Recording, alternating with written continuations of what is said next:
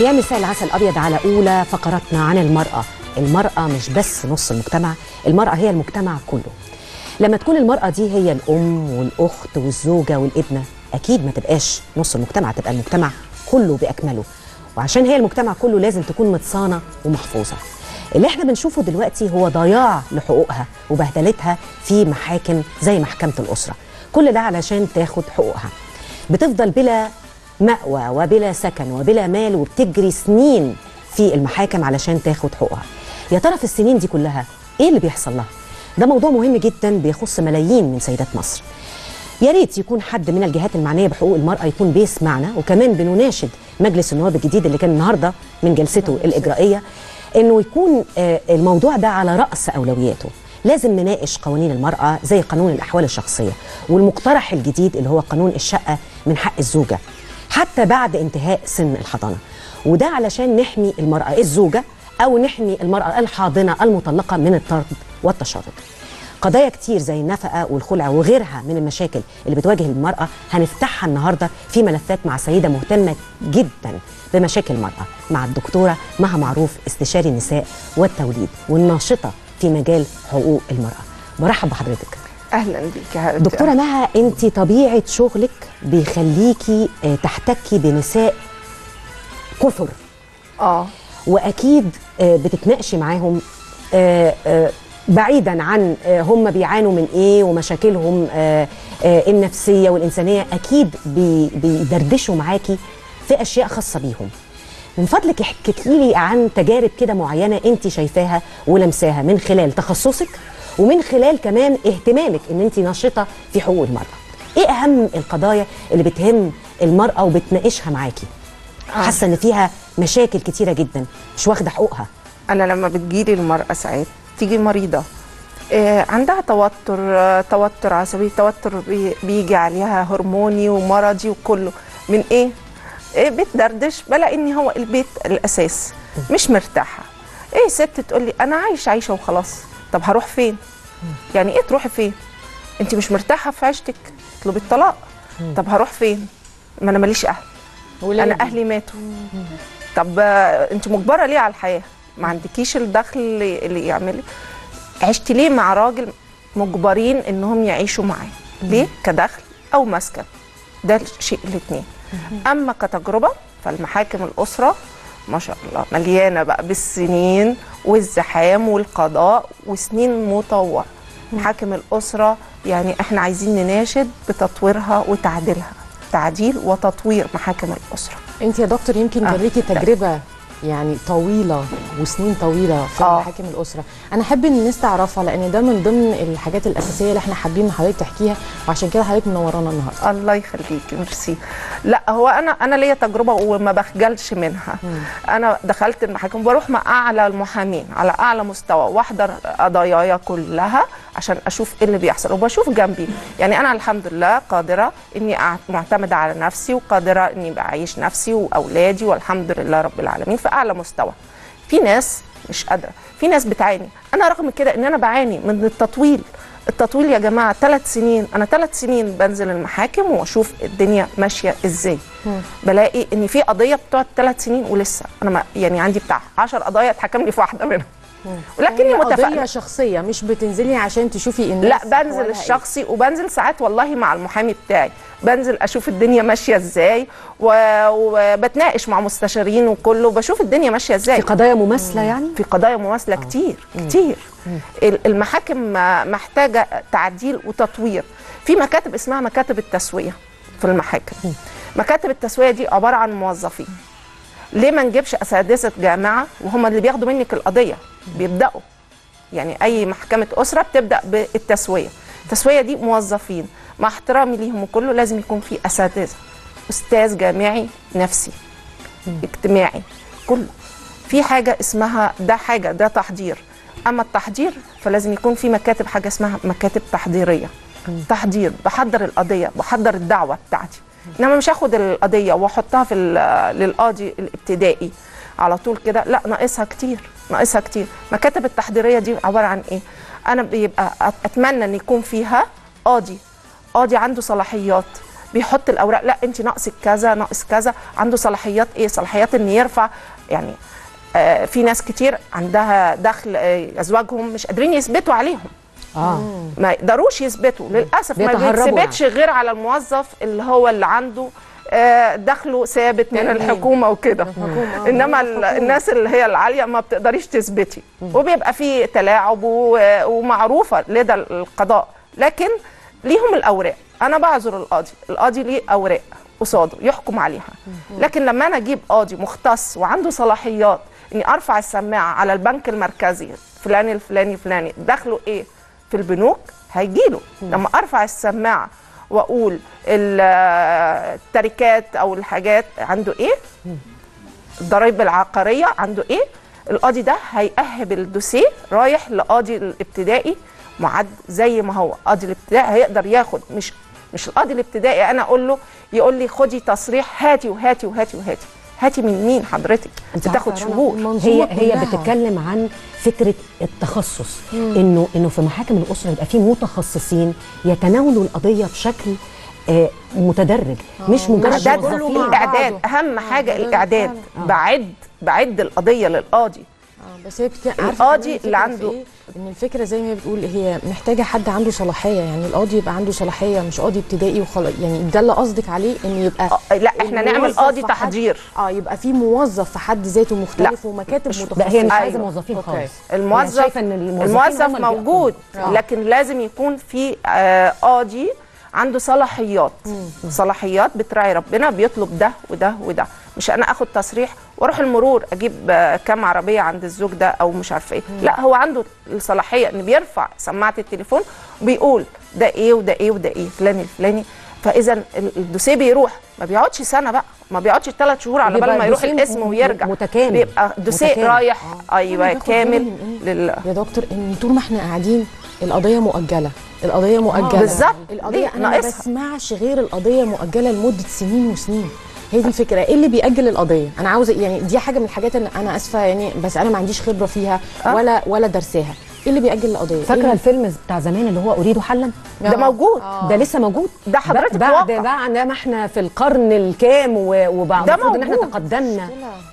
موجود. الست لما بتطلب الطلاق آه. بتقعد بالسنين في في المحاكم. طب ليه؟ ليه ما نسهل الموضوع؟ ليه أنا ما أعملش زي إسوة بالبلاد العربية؟ إحنا دلوقتي البلاد العربية كلها عندها قوانين كتير. في حاجة اسمها عقد عقد اتفاق للطلاق. زي في عقد بلاد عربية. عقد اتفاق الزواج. زي عقد اتفاق ده الزواج. فين من فضلك في تونس مثلا؟ في تونس موجود. آه. وفي بلاد عربية. في الكويت موجود. في السعودية موجود.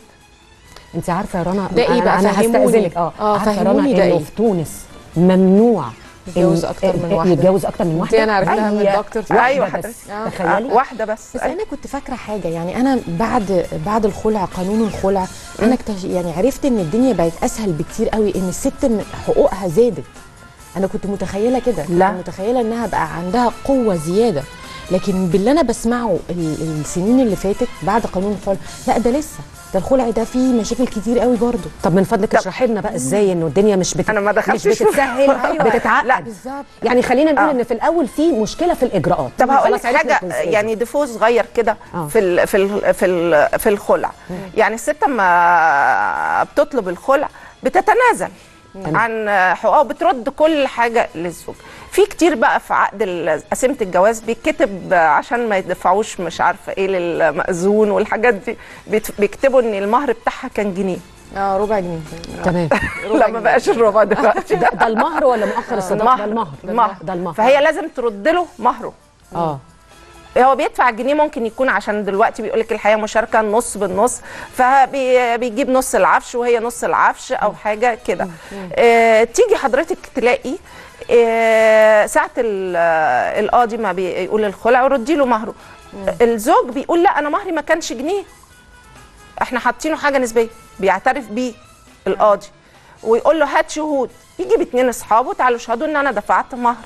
آه ده 100000 جنيه. مزيد من أو من 50,000. الخطط اللي بتضيع بيعترف بيه والزوجه مجبرة إن ترد له مهره.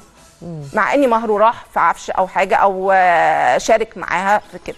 مفيش أي حاجة مكتوبة لازم العقد اتنين شهود. وانتهى الموضوع على كده؟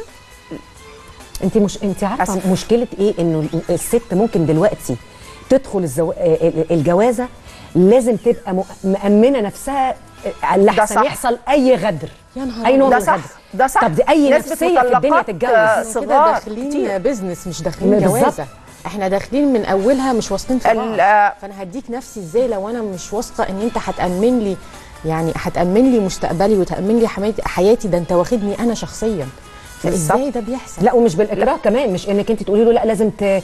يعني هو من نفسه اللي يبادر بكده بس ما بقاش أنا داخلة وعمالة بحسب لحسن لو حصل كده هعمل. كده يعني برضو آه، الحياة المشاركه. الحياة مشاركة وكله طبعاً. لكن الست لازم تحترس أكيد أنا بس عايزة الحرص. أقول للمشاهدين. حاجة هم شايفين معانا على الهوا دلوقتي مجلس النواب حالا آه. وإيه اللي بيحصل فيه بس عشان الناس ما تبقاش شايفه شايفة صورتين قدامهم طيب بما إن حضرتك كنت عايشة في فرنسا 12 سنة آه آه المرأة الفرنسية مم.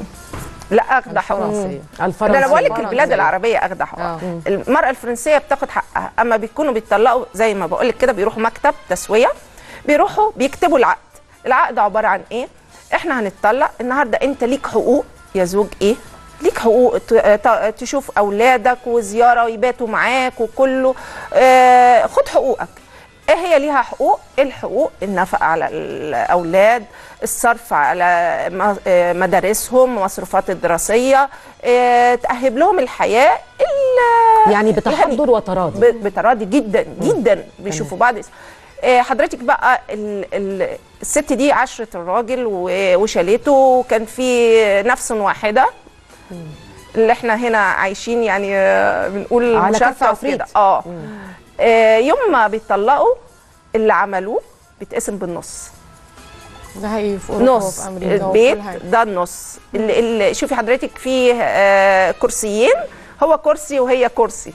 نص بالنص. الآخر آه، عارفة حقها وهو عارف حقها ومتجوزها على هذا الأساس عارف إن لو في حصل يوم طلاق هيحصل كده. ده اللي إحنا عايزين نعمله. مع الزواج في عقد اسمه عقد طلاق. أنا ما بشرش كله. إنما في عقد اسمه عقد طلاق. بنتفق فيه على مؤخر على كذا على كذا على كذا. ده بيبقى كويس وباين وده حلو لل- للشباب اللي طالع. أنت عارف دلوقتي في عقد جواز. لا في عقد حاجة اسمها عقد طلاق خلي بالك. عشان ما يجيش في يوم ما- تضيعش الحقوق. ما تضيعش الحقوق. طب بمناسبة بقى مجلس الشعب اللي موجود دلوقتي آه. انت بتطالبي إيه؟ يعني آه، آه، النهارده طبعا أولى الجلسات الإجرائية. آه. لازم يكون على أجندة مجلس الشعب آه، حقوق مرأة. الحقوق حقوق أنت مرأة إيه؟ بشكر في مقترح. السيدة ميرفت التلاوي بالظبط كده. يعني أنا ناديت بال- إن الشقه من حق الزوجة حتى ولو بعد الحضانة لأن هي لمست معايا بعض الظلم اللي وقع عليا. آه السيدة بصراحة جميلة جدا وطلع القانون وكله مستنيين مجلس الشعب للتصديق عليه يعني يا ريت يا مجلس الشعب إحنا مجلس الشعب فيه كام سيدة؟ هتوافق؟ طبعا كل السيدات هم 80 لكن في 500 راجل. يا ترى الرجالة فيهم قد إيه هيوافق على القانون ده؟ إحنا إحنا مجلس الشعب يمكن بتاع السودان ممكن يوافق لأن في 30% سيدات. آه أعتقد إن الرئيس عبد الفتاح السيسي يعني معلي شأن المرأة. إحنا عايزين السيد الرئيس. بشكل كبير. بس كده يا ريت بقى. السيد الرئيس أما طلع ما استناش مجلس الشعب علشان يطلع قوانين لأمن الدولة. قلنا له صح ما تستناش ده أمننا.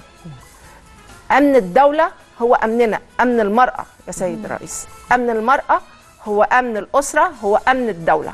أمن اما تأمني. أنا هعيش آمنة. في بلدي. يا ريت يا ريت يا سيد الرئيس تأمن المرأة. ما يجيش الزوج يتجوزها النهارده وتعاشر وتعيش معاه حياة مشاركة مشاركة مشاركة وبعد كده يقول لها يلا مع السلامة أنا مش عايزك. روحي على بيت أبوكي. فين أبوكي؟ توفى ما فيش شقة ما فيش كذا. تروح تعيش عند أخوها ولا أختها ولا بنتها ولا ابنها. ما ينفعش. يعني. يا ريت يا ريت يا سيد الرئيس تكرم المرأة بإن يكون لهاش مهانة إنها تخرج الشارع.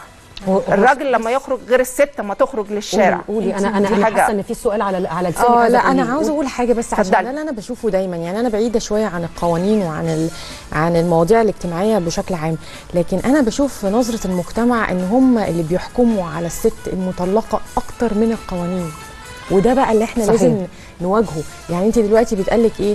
آه دي مطلقة دي بقى خلاص دي بقى دي سابت جوزها. سابت جوزها مش عرفك هي إيه اللي مر كي- مر- كيان مستباح مر- يعني. آه بالظبط. فدايما المجتمع بيحكم مش بس الحكومة ومش بس القوانين مش بس الدستور ال- ال- المجتمع بيحكم على المرأة بأنها بقتش ست كويسة. أنا آسفة إن أنا أقول الكلام ده. لا بالعكس. ده في حد ذاته بيضايق. يعني أنا نفسي المجتمع كله يبتدي يغير نظرته لأن المجتمع لو غير نظرته ده لوحده دافع إن مجلس النواب النهارده يحط ده من أولى الحاجات في القائمة. اللي المفروض إنها تتنفذ. يعني نظرة المجتمع قصدك إنها ممكن تغير القوانين. طبعا طبعا. انت مش لما بتبقي إيد واحدة. صحيح كلنا مع بعض بنواجه ده. متهيألي اتغيرت شوية لأن الست دلوقتي بتعمل خلع. الست هي اللي بتطلب الطلاق. بس نظرة في طلاق ل- اسمه طلاق للضرر. الضرر وقع عليكي. أنا أنا أنا بحيي الست اللي تطلب أنا عايزة الطلاق. اذا دي مستقلة ومش راضية إهانة مش راضية إن هي تعيش حياة مش كريمة ولو شيء. الراجل اللي اهتز في صو- صورته في عين زوجته لو زوجك اهتز اطلبي الطلاق لأنك هتطلقي هتطلقي هت- هتهاني. اذا من أسباب الطلاق. سوء التقدير سوء, سوء العشرة. التقدير سوء العشرة مفيش وسوء- مسؤولية. لا لا لا الست بتشيل مسؤوليات الزوج اللي يشيلك مسؤوليات أزيد من مسؤولياتك هتعيشي طول عمرك كده. آه تعالي نقول نتكلم عن المسؤوليات دي ما آه، بقتش. متحددة. حضرتك. تعالي نتكلم. عليها قال لك من عاجبك كده؟ سخنتيني أنا؟ عاجبك استني بس لا استني أنا هقعد. اتفضلي حضرتك. اقعدك بقى استني مستريحه شوية كمان.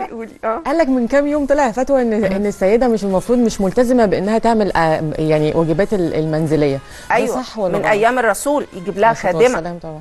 خادمة. استني بقى عشان الموضوع كده إيه؟ ابتدى أيام يدخل في سكه ثانية هذا خادمة. أيوه من أيام الرسول عليه الصلاة والسلام يجيب لها خادمة. طالما قادر الحتة يجيب. لها خادمة. آه حضرتك لو رضعتي بمناسبة إن أنا نسا ولادة لو رضعتي الطفل بتاخدي أجر؟ يا ترى في واحدة خدت أجر من جوزها على الرضاعة لابنها أو بنتها؟ لا ده 24 ساعة في سبع. أيام من غير ولا أجر ده خالص على إرهاق للست ده الرضاعه ده واجب عليكي. آه واجب لا على أيام يعني الرسول إيه؟ كان في المرضعات. وكانوا بيدفعوا لها أجر. صح. فأوصى في حديث ما أنا مش عايزة أفتي إن الست اللي ترضع آه طفلها تاخد أجر عليه طيب أنا هستسمحك بس معانا. الأستاذ أيمن من القاهرة في اتصال. أستاذ أيمن. ألو؟ يا أستاذ أيمن. اتقطع معلش. التليفون. آه. طيب يعني إحنا شايفين دلوقتي آه، انه انه ما أعرفش من كلامك حاسة إن إحنا بنرجع لورا مش بتطلع لقدام يعني معقولة في عهد الرسول عليه السلام كانت المرأة مقدرة ودلوقتي. يعني يعني غير مقدرة وممكن تتعرض لإهانة وممكن ترتضي ترتضي إنها تعيش رغم الإهانة وسوء المعاملة والتقدير لمجرد بس إنه آه، هي مش لاقية مكان تعيش فيه طب ثانية واحدة عشان. أستاذ أيمن رجع بقى طيب، فاحنا. لازم ناخد اتصال من. أستاذ أيمن يا أستاذ أيمن مساء الخير ألو؟ أيوه الدكتور أيمن مع حضرتك. أهلا وسهلا. إزيك يا دكتور؟ اتفضل يا دكتور. أهلا بحضرتك الحمد لله. الحقيقة كنت بس عايز أعلق على موضوع الحلقة اللي هو ما جاي على الشاشة نفسه اللي هو ال- اللي شأن حق الزوجة الغير حاضنة يعني. تمام. وقد تكون أنا يعني شهادتي كرجل مش هتبقى مجروحة بالنسبة لل- للبرنامج يعني. آه، أنا برضو مطلق يعني. و... والحقيقة أنا مع كلام الدكتورة قلبا وقالبا يعني لأن مش معقولة آه،. إن واحدة آه، طبعا إن واحدة بعد ما تكون متزوجة وايا كانت الظروف اللي بينها وبين زوجها دي ممكن تحصل في الحياة بصفة عامة ويختلفوا وهي بتربي أولادها.